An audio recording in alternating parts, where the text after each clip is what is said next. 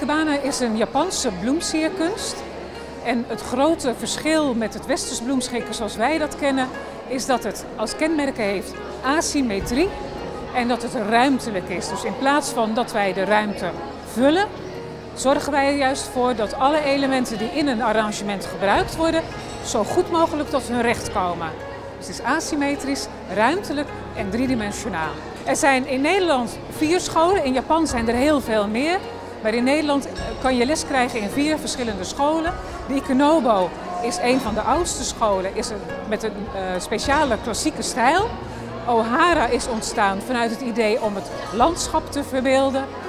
De Sogetsu-school is juist ontstaan vanuit een grote modernisering en abstrahering, waarbij ook materiaal op een onnatuurlijke manier gebruikt mocht worden of, op een, uh, of onnatuurlijk materiaal aan toegevoegd mag worden.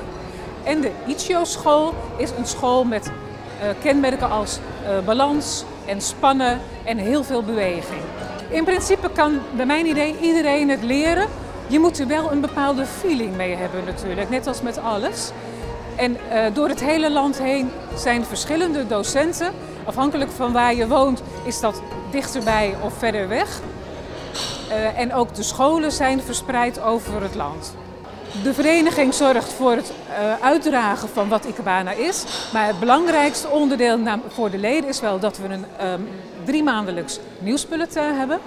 En vooral een maandelijks programma met uh, workshops. Met name de leden vinden het erg leuk om workshops te doen waarbij ook alle vier de scholen binnen de vereniging aan, uh, aan bod komen. En in principe kan iedereen daar aan meedoen als je lid bent. Je kunt ook als introducee je bij een afdeling melden en deelnemen aan een workshop.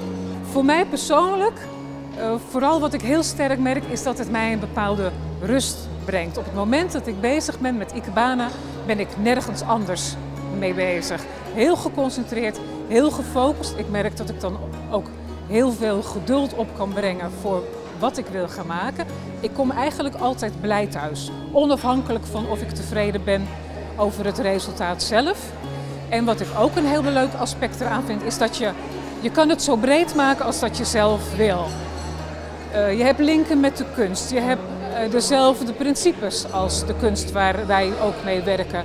Uh, je hebt linken met de Japanse cultuur.